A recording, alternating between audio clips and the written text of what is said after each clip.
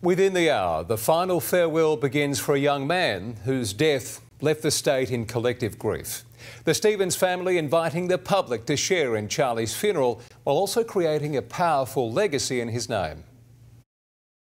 An 18 year old boy frozen in time as life was just beginning.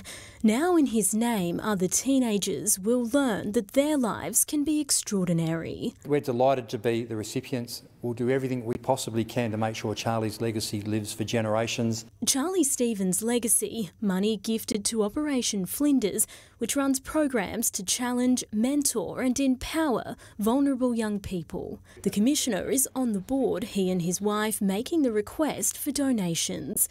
The Premier tipping in $100,000 from the state. It's pretty remarkable that people who are enduring the most incomprehensible grief uh, are thinking about how they can turn that in a way that benefits other members of the community. And the community has responded.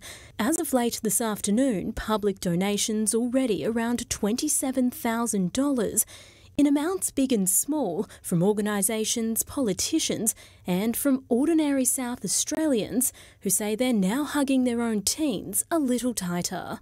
Also from people who know the pain left by deadly crashes, including the family of number 59 of 2019, Sophia Naismith. With 105 people dead on our roads this year, it is simply the case that a vast number of those should be standing here today. The Stevens family has chosen to make this evening's service open to all. I think it's a, an extraordinary act of generosity on behalf of Grant and Emma Stevens to open up Charlie's funeral to the public. It's also a gesture of thanks for the enormous outpouring of grief from thousands of strangers for their boy. The flowers, cards, telephone calls, text messages, and social media wishes have not stopped.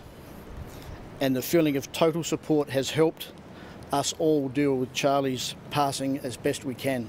As many as a thousand or more expected to be in attendance, a wall of solidarity and strength for a family, once of seven, now missing a vital piece. Now is the time for us to regroup as a family and focus on how we move forward without our very, very special Charlie.